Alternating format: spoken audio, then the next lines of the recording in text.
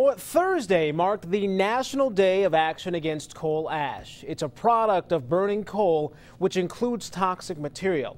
The Clean Water Action Group wants the feds to regulate. And as Caroline Vandergriff reports, there are thousands of coal ash disposal sites in the country, including here in mid-Michigan.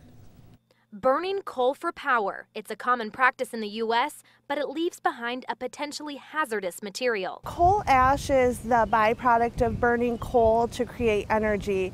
It is a toxic waste product that is full of contaminants. Coal ash and the way it's disposed garnered national attention in December of 2008 when a retaining wall broke in Tennessee. A billion gallons of coal ash sludge spilled into two rivers and buried 400 acres of land six feet deep. Experts call it one of the largest toxic waste spills in U.S. history. Ten months later, the Environmental Protection Agency proposed federal standards for coal ash disposal. But yet, two years later, we have not seen anything finalized. That's why the Clean Water Action Group is pushing for strong regulations of coal ash disposal sites, like this 51 acre site off Comfort Street in Lansing. It's an unlined pit bordering the Grand River and a residential neighborhood. The Lansing Board of Water and Light used to dump coal ash there more than 30 years ago. Many, many people have no idea if there's a coal ash disposal area in their neighborhood that they could be potentially exposed to the contaminants that leak from coal ash disposal areas.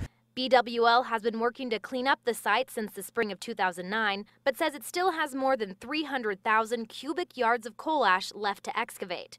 Susan Harley says it's a step in the right direction in Lansing, but more can be done statewide. This is something that's been going on for decades, but it's time that we take action now to stop. In Lansing, Caroline Vandergriff, Fox 47 News.